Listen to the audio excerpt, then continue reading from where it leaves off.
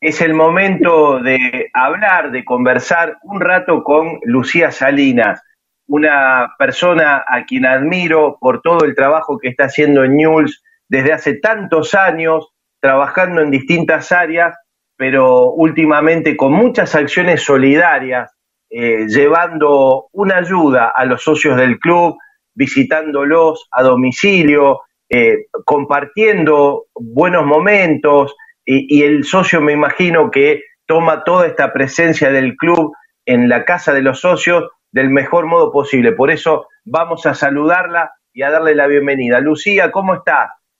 Hola, buenos días a todos y a todas. ¿Cómo están ustedes?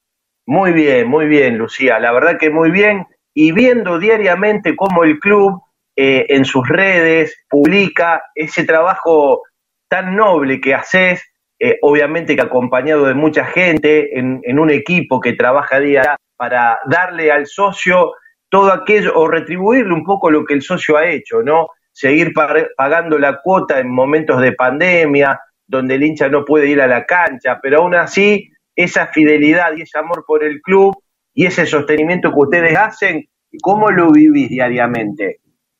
Bueno, es, eh, te digo, una experiencia única.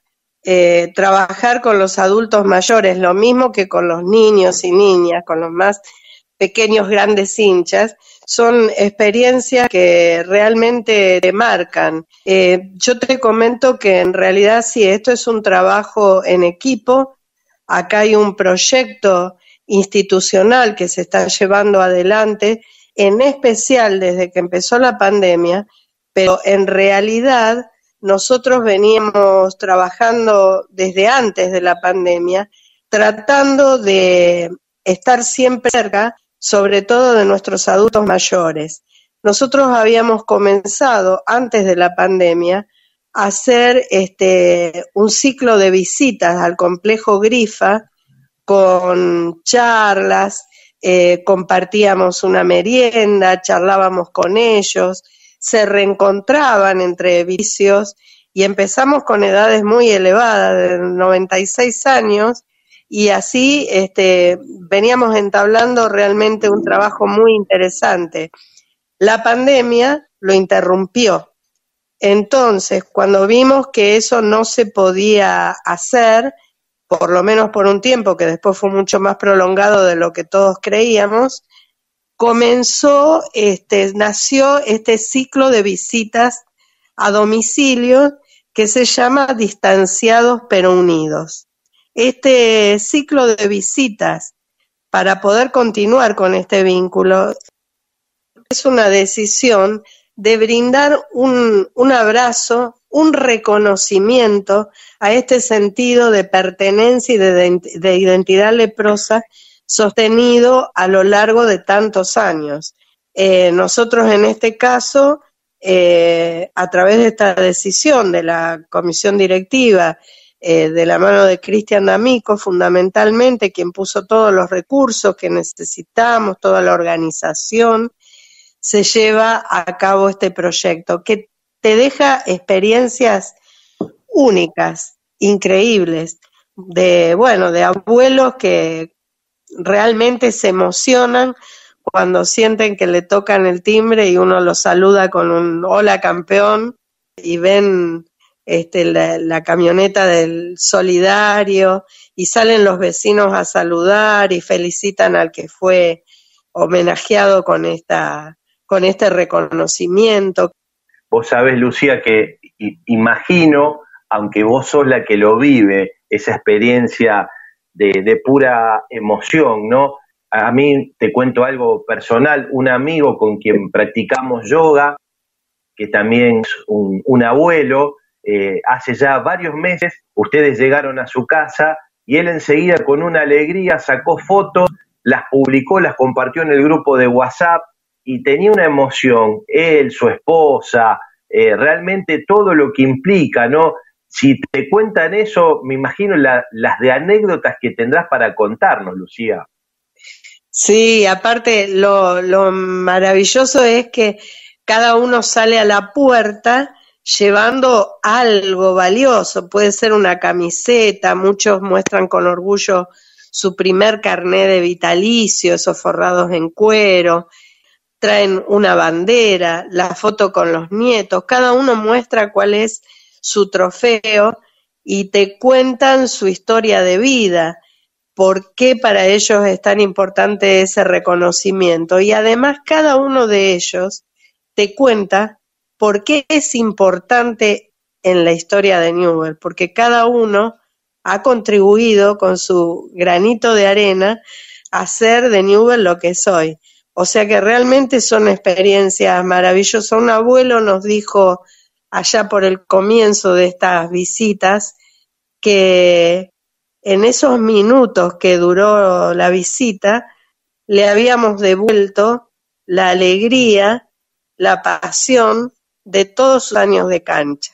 Y eso yo creo que, eh, que te lo diga un abuelo que ha alentado a Newell tanto de local como de visitante y que encuentre que en esa visita resumió todo, es algo realmente maravilloso.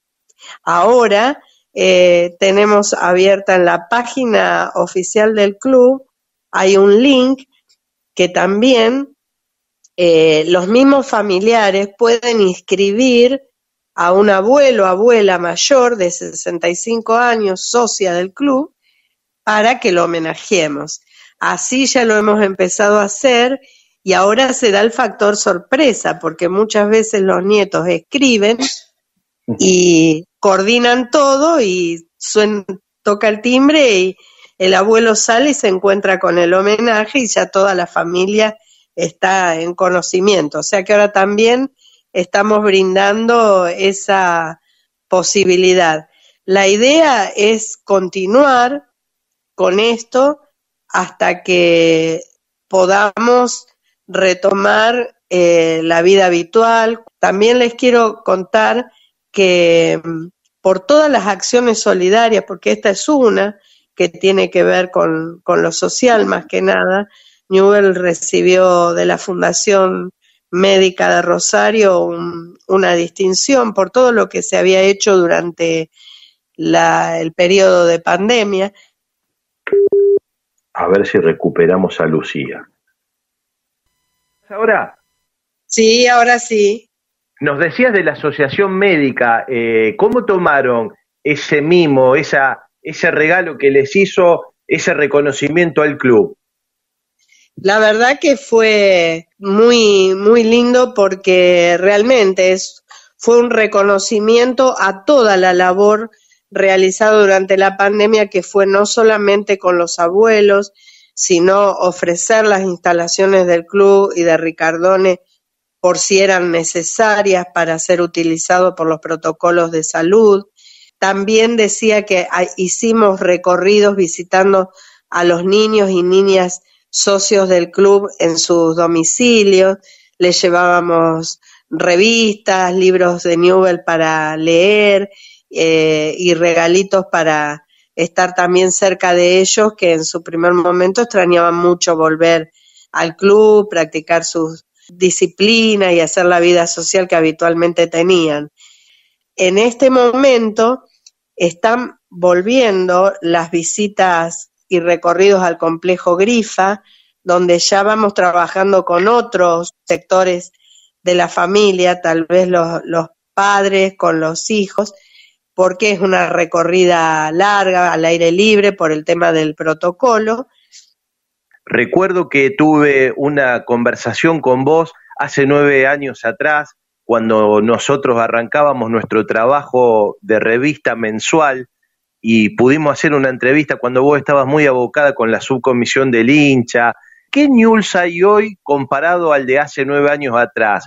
¿Y qué progresos ha tenido Newell, tanto en Bellavista como en la propia sede del club en el Parque Independencia? Imagínate pensar nada más que en este aspecto que te estoy diciendo en estos últimos años, todo lo que se ha remodelado, diseñado y creado, por ejemplo, en el complejo Grifa. Es algo que realmente, es más, hay gente que nos dice, yo vine hace un año atrás y hoy llego y está todo eh, nuevamente modificado, perfeccionado, la iluminación, bueno, las obras de, de gas, el uso de nuevas canchas, la adquisición de los nuevos terrenos, lo que próximamente se va a tener de lo que eran los terrenos municipales. O sea, realmente ahí ya tenés un cambio notable. Y en la vida del club lo mismo, de aquellos primeros años, por ejemplo, que yo trabajaba tanto soñando con poder organizar todas las cuestiones sociales y solidarias, fíjate que hoy tenemos la, la suerte de contar con un departamento social y solidario eh, que se fue instalando en el tiempo y que hoy eh, está organizado y que tiene muchas actividades, porque así como te estoy diciendo, actividades con los niños, eh, con los abuelos, seguimos haciendo mientras se pudo, mientras hubo fútbol con público, aquella famosa jornada solidaria de todos lados, todos los barrios donde los chicos asisten. No solo que continuó en estos últimos años, sino que se amplió la cantidad de chicos que asisten, permitiendo también chicos de otras localidades y permitiéndole a muchos más poder acceder. Para los que no conocen, esto es un programa que se realiza los días de partido, llevando a niños y niñas de contextos lejanos o muy vulnerables a pasar un día de cancha con actividad y luego acceden al partido. O sea que yo veo hoy en estos últimos años un club como encaminado detrás de un proyecto común. Lucía, te hago una última pregunta. Nosotros tuvimos la posibilidad de entrevistar al ingeniero José Luis Conde y él nos reconoció que D'Amico le pidió que sea parte de su lista. ¿Te ha pedido lo mismo, Cristian? ¿Han hablado de esto? Todavía en este momento no, no estamos, digamos, estamos todos trabajando y por ahí no, no pensando directamente en una candidatura o en la campaña. Estamos más abocados a la tarea cotidiana, las obras del ingeniero en el complejo Grife cada uno en lo solidario. Eh, en algún momento, sí, Cristian me lo ha hecho saber porque voy a decir eh, realmente que él siempre considera mucho nuestro trabajo en el Departamento Social y Solidario